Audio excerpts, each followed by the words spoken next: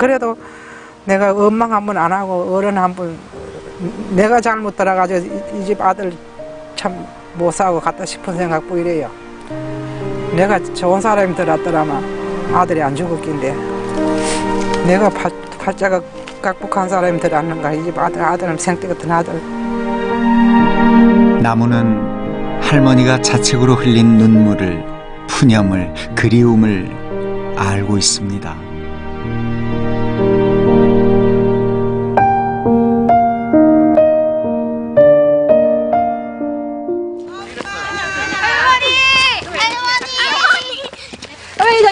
왔어요. 시집간 딸 여섯이 아이들을 몰고 다니러 왔습니다.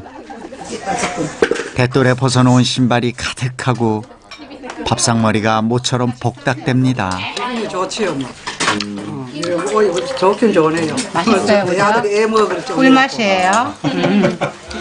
서울서 이 거리가 얼마나요 그래.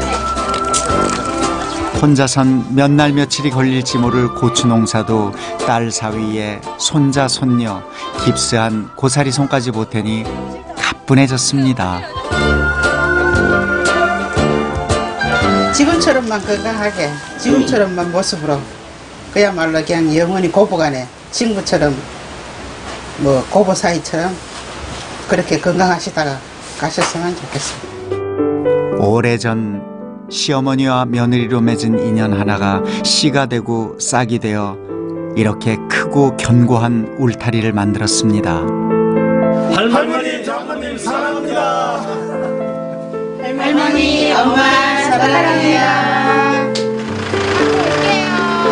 네, 가요. 잘했어, 엄마. 할머니.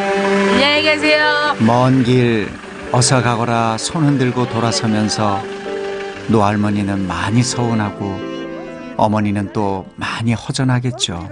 가요. 적적한 걸 잊으려고 이덕분 여사가 텔레비전을 틀었습니다. 귀가 어두운 시어머니에겐 중계 방송이 필요한 지금 시간. 이거 뭐 한다 알아요? 골든벨. 상 타는 거 골든벨.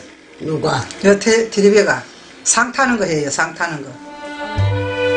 아, 놓으시오. 덤덤해서 더 애잔한 어머니와 며느리의 고단한 하루가 저물었습니다.